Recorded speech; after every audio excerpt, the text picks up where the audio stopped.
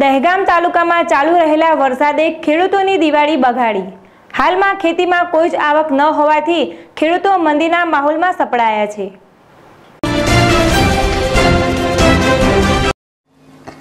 ગાંધીનગર જિલ્લાના દેગામ તાલુકામાં દિવાળી તહેવાર આવવાની ઘડીઓ ગણાઈ રહી છે તેવા સમયે ખેડૂતોના મુખ ઉપર ચિંતા સવાઈ જવા પામી છે. કારણ કે આ વર્ષે મન મૂકીને વરસાદ તૂટી પડતા ખેડૂતોના ખેતીના પાકોમાં વ્યાપક નુકસાન થવા પામ્યું છે. તેથી હાલમાં ખેડૂતો પાસે ખેતીની કોઈ ઉપજ નહીં હોવાથી મંદીનો માહોલ સવાઈ જતા ખેડૂતોમાં ભારે ચિંતામાં ગરકાવ થઈ ગયા છે. સરકારે ખેડૂતોને ખેતીના પાકોમાં નુકસાની વળતર પૂરતા પ્રમાણમાં આપ્યું નથી.